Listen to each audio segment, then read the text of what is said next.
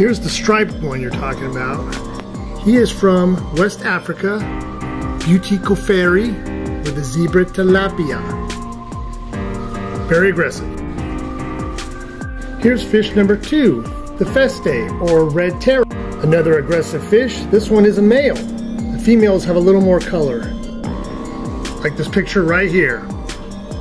Thanks for the comments and I appreciate you